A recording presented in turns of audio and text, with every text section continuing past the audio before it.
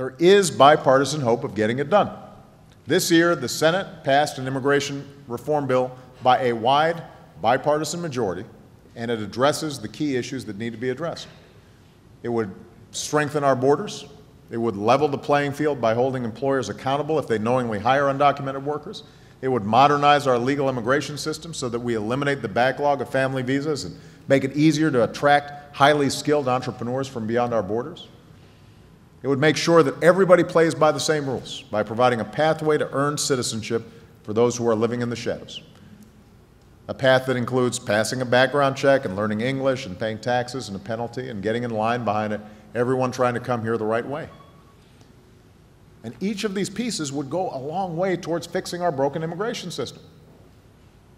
Each of them has been supported by Democrats and Republicans in the past. There's no reason we can't come together and get it done.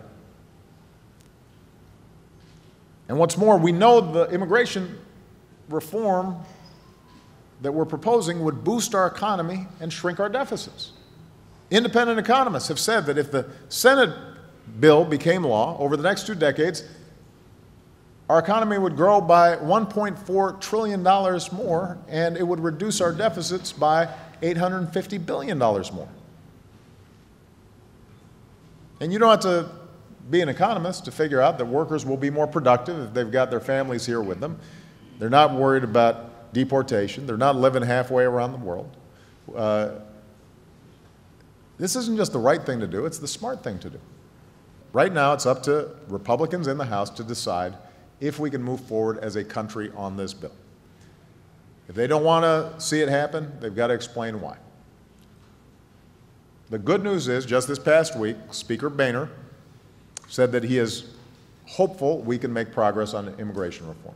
And that is good news. I believe the Speaker is sincere. I think he genuinely wants to get it done. And that's something we should be thankful for this week.